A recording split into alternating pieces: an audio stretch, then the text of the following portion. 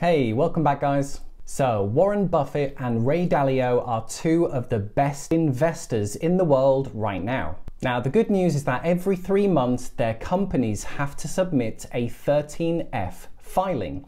And what this basically means is that they have to show all the changes they have made to their own portfolios. Now, this is great for us as we get to see everything they are doing with their own money. This is also known as what the smart money is doing. Let me explain.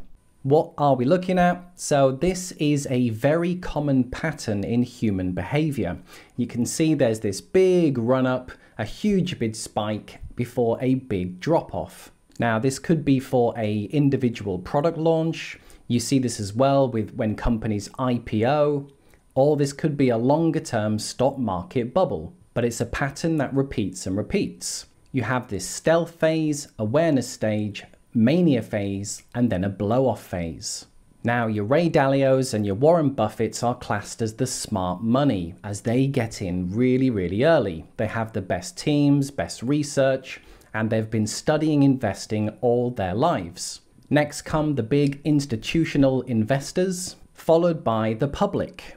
Unfortunately, this is known as the dumb money, as when everything is going up and up and up, everyone's talking about it, and this is when the general public rushing to get the investment. And normally it's the smart money that is selling to the general public at this point, as they know it's normally followed by a big sell-off. So this video is the Q3 update to Ray Dalio's company Bridgewater Associates and Bridgewater Associates is the most successful hedge fund in the world. And they have done some very surprising changes this quarter, as you'll soon see. As always, if you do find anything in this video useful, be sure to drop a like. That would be much appreciated as every like does help. P.S. Always check the description below this video as I do these updates every three months, just so that you're always watching the latest version. Okay, sit back and relax, guys. Let's take a look at what Ray Dalio has been doing with his own money. So here is what we're going to be looking at. We'll take a look firstly at the brand new positions they have opened up. We'll take a look at the biggest increases and reductions to their positions they already held. We'll then take a look at the full Ray Dalio portfolio as it stands right now and we'll also measure it against the S&P 500 and see how this portfolio holds up. We'll then bring it all together to see if there's some takeaways to help us with our own investments. First up, all the new positions. So here they are, and it's in the order of from the largest to the smallest in terms of monetary value. The big three are Walmart, Procter & Gamble, and Coca-Cola and then got Johnson & Johnson, Pepsi and McDonald's. Now the biggest takeaway from this slide is actually all of them. So normally Ray Dalio's biggest positions are ETFs. So seeing all of these individual stocks pop up is actually a bit unusual. Next up, all of the positions they reduced on so we've got the S&P 500 from Spider and iShares, and then we've got two China ETFs as well. So first up, we have the two S&P 500 ETFs. Now, this is probably the biggest thing to happen in this entire Q3 update right here. Spider S&P 500 is his largest position and he reduced it by 21%. So this is huge and his secondary position by 63%. So he has made a massive reduction on US stocks. Now, the bottom two are the China ETFs, and it looks like he's made a big reduction. However, he's actually moved this into other Chinese entities, as we'll see in a second. So these are the biggest increases to existing positions, and the biggest talking point on this page is the emerging markets. So he's actually got three different emerging markets ETFs, and he has made big increases to all of them. Now, inside an emerging market ETF, normally it's about 50% China, before branching out into other countries like Taiwan and India. So actually, he's still betting on China through these, but with more diversification. The second position, Alibaba Group, now he increased this by 40%. So this is now nearly 5% of the entire portfolio. So he's got a big bet on Alibaba. And then to finish is the bottom one, it's Costco. So he's actually made a big increase to Costco. And funnily enough, Warren Buffett's recent update is that he sold out of Costco. So it looks like Warren Buffett has sold Costco to Ray Dalio. How funny is that? So let's take a look at how the portfolio now stands. So this is actually just the top 50 positions of the portfolio. It's an $8 billion portfolio and there's actually 430 total positions.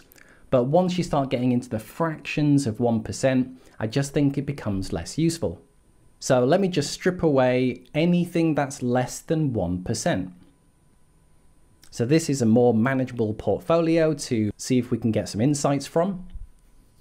So I won't go through all of them, I'll probably just talk about the main ones. So starting in the top right, this blue 19% position, so this was his Spider S&P 500 position, and this is what he reduced by 40%. Now position 2 and also position 5 are his gold ETFs.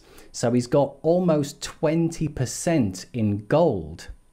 So he clearly really likes gold. This is probably to hedge against all the money printing that's going on.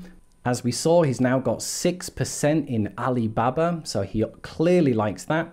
And then we have these individual stocks, so a strong position in Walmart, Procter & Gamble, and then some smaller ones in Coca-Cola, Johnson & Johnson, and PepsiCo. So let's see how this portfolio did against the S&P 500 as the benchmark. So what are we looking at? Well, it's the bottom line is actually the S&P 500 and the top line is this portfolio. So you can see it tracked pretty closely all the way up to the pandemic. Then when we had the big sell-off in March, we then saw this big divergence. Now, I think the biggest reason why this portfolio has outperformed the S&P 500 this year is to do with his gold position. So 20% of the portfolio is in gold, and gold has had a really strong year. So that has saved the portfolio. A slightly longer time horizon, so this is the five year, but it's pretty much the same picture you can see the divergence really comes this year and it's the gold that has rocketed the portfolio above the S&P. So there you are guys, those were the latest updates to Ray Dalio's Bridgewater portfolio. And as you saw, some very surprising moves. One of the biggest was this large reduction to US stocks. It does make me think, what does he know that we don't, right? He also did make big reductions to his China ETF, but then he did refocus that into Alibaba and emerging markets. And the emerging markets ETF do focus 50% on China. But they also include India and Taiwan as well, so probably more diversification. And the last point was them taking up large positions in individual stocks, including Walmart, P&G, and Coca-Cola. So there you are, that was a lot of activity for one quarter. If you do want to see the latest changes to the Warren Buffett portfolio, you can click here for those. Okay, just one favor to ask. If you did find anything in this video useful, be sure to drop a like. That would be much appreciated. If you haven't yet subscribed, be sure to click below and join us. I do have some great videos coming up that you don't want to miss. Any questions or comments, just post them below. Okay, cheers guys, thanks for watching and I'll see you in the next video. Bye for now.